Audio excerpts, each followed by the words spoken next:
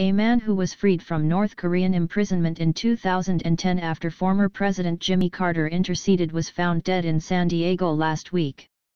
The authorities were notified by a witness that the man, Aijalon M. Gomes, 38, had been seen on fire in a field off the Pacific Highway late on Friday.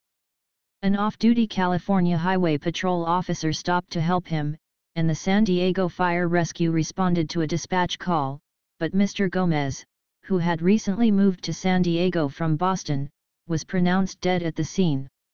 The San Diego police said in a statement on Tuesday that they believed Mr. Gomes's death had been either an accident or a suicide. A police spokesman, Billy Hernandez, said the cause of the fire was still under investigation. In April 2010, Mr. Gomes was sentenced to eight years of hard labor in a North Korean prison for crossing into the country illegally.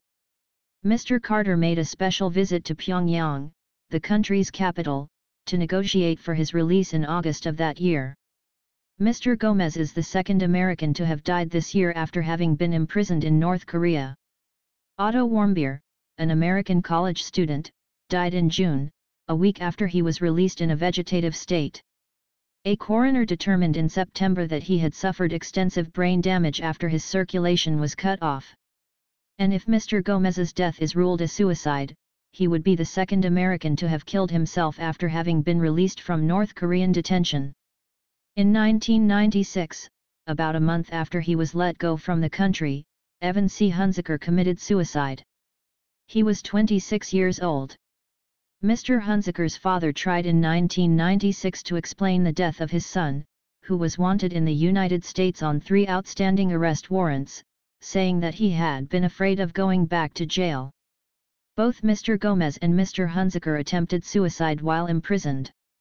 Mr. Gomes's mother, Jacqueline McCarthy, confirmed to a local news station that her son had just moved to San Diego, but asked for privacy as the family dealt with his death. She did not answer phone calls on Wednesday. In a rare interview in 2015, Mr. Gomes described some of the conditions of his imprisonment. He said that he had initially been detained in a concrete cell that was beyond freezing, that he had reason to believe one of his guards was urinating in his food, and that he was assigned to make bricks as punishment. He described himself as broken and weary of the games being played for my life two months after he was arrested in January 2010. In the interview, he said that he still experienced setbacks and frustrations, and that issues with anxiety had made him mostly a recluse. At least three Americans Tony Kim, Kim Hak-song, and Kim Dong-chul remain imprisoned in North Korea. President Trump on Monday restored the country to a list of states that sponsor terrorism, once again escalating tensions between the United States and North Korea.